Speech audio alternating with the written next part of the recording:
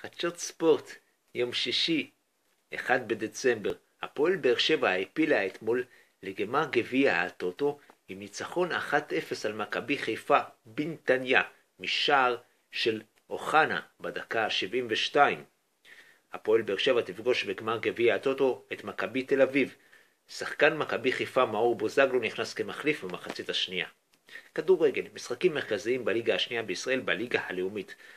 הפועל חדרה ניצחה היום 1-0 את הפועל כפר סבא. הפועל חדרה ניצחה היום 1-0 את הפועל כפר סבא.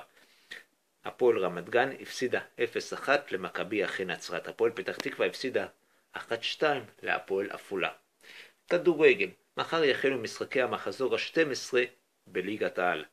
מכבי תל אביב תשחק מול מועדון ספורט אשדוד.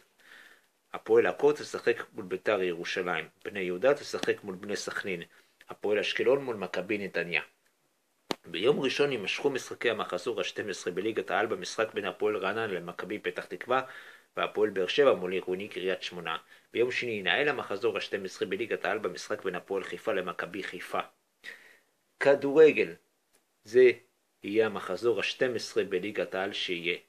כדורגל, היום תהיה הגרלת המונדיאל רוסיה 2018, מונדיאל 2018 רוסיה, יהיה בקיץ.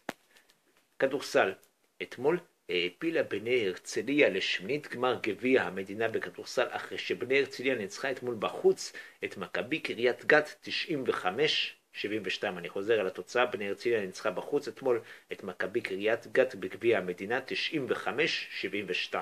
בשלב הבא, סביב תאריך 24 בדצמבר, בני הרצליה תפגוש את הפועל תל אביב. כדורסל, כדורסל יורוליג, מכבי תל אביב ניצחה אתמול ביורוליג את ז'לגיריס קובנה 81 74. עד כאן חדשות ספורט להתראות.